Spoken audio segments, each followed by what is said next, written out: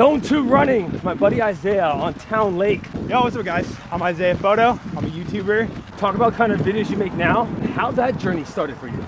I got into making YouTube videos because, like most people, I saw Casey Neistat making videos and thought it was really fun. Isaiah's the one that ran the Chicago Marathon in freaking Crocs. Then I came here in Austin and ran the Austin Marathon in flip-flops. What's it like living in Austin? You can't beat this community. You come up here at six in the morning, there's probably a thousand people running around this lake. I agree. I don't know what can motivate you more to be in shape and healthy. What piece of advice would you give to a creator now? The only ones who don't make it are the ones who quit.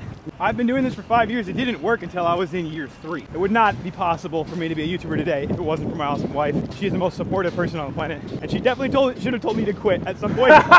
she said, keep going. I believe in you. Have like such a strong internal belief in yourself first. Yeah. So then people can actually get bought into you, right? Because Yeah, if you didn't believe in yourself, your wife